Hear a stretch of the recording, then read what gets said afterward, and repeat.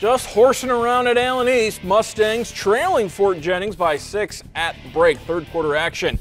Caleb Smelker goes inside to Spencer Miller, gets the bucket. Allen East down by four. Other end, Mark Metzger misses for Fort Jennings, but Brandon Weary is there for the putback. Back up to a six-point advantage. Later in the third, Luke Perkins out to Miller, eyes it, flies it. Three is good. Allen East cuts the deficit to four. Other end, Musketeers Aaron Nieder inside pass to Weary, the freshman playing like an upperclassman, gets the bucket. Six point lead again for Fort Jennings. Travis Wireman inbounds to Kane Foster, hits the three. Allen East within three. Fort Jennings answers. Austin Karras in trouble, finds Zach Finn, hits the three pointer, and Fort Jennings would get the victory by two on the road, 46 44.